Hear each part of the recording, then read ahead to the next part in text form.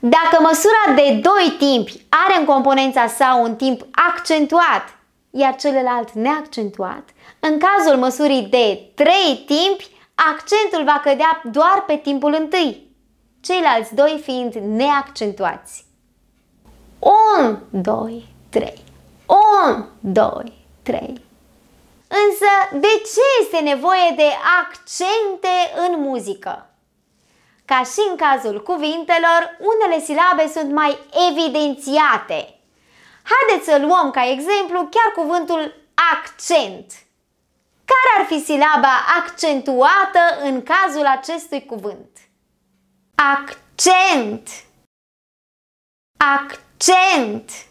Corect! Cea de-a doua silabă. Însă, cum ar suna cu accentul pe prima silabă? Accent. Accent. Observați cât de important este accentul în vorbire? Să dăm un alt exemplu. Cuvântul muzică. Muzică. Este compus din trei silabe. Care ar fi silaba accentuată? Exact! Prima silabă. Haideți să-l plasăm și greșit să vedem diferența. Muzică. Muzică. Ei bine, în muzică rolul accentelor este la fel de important ca în vorbire. Măsura apare mereu la începutul melodiei, imediat după cheie și este reprezentată prin două cifre.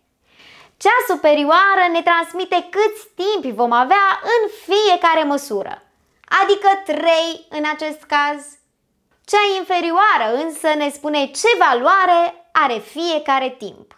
În cazul de față, valoarea este de pătrime. Deci ne aflăm în măsura de 3 pătrimi. Cum se tactează măsura de 3 pătrimi? Timpul întâi care este accentuat, merge spre stânga. Al doilea spre dreapta și se revine la poziția inițială. 1, 2, 3. 1, 2, 3. Muzical însă, măsurile pot fi alcătuite din orice valori de note și pauze ce însumate alcătuiesc trei timpi, ca în exemplul care urmează. Dintr-o doime cu punct. Dacă vă amintiți, Punctul așezat în dreapta unei note prelungește valoarea acesteia cu încă jumătate. În acest caz, note de 2 timpi, îi se mai adaugă un timp. 2 plus 1 egal 3 timpi. Măsura de 3 timpi poate fi alcătuită din note și pauze de un timp.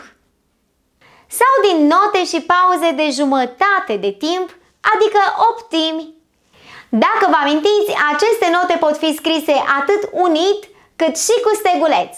Valoarea lor este aceeași, de jumătate de timp.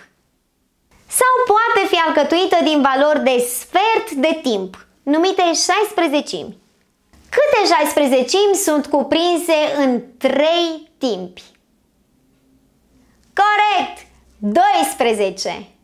Deoarece 4 16 alcătuiesc un timp, iar noi avem nevoie de 3 timpi pentru a completa măsura.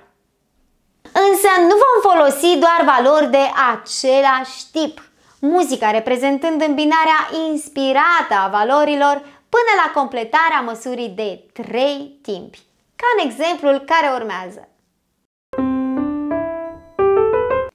Melodiile scrise în măsura de 3 pătrimi se numesc valsuri, iar un exemplu de acest gen este valsul Dunăre albastră de Johann Strauss. Să-l ascultăm!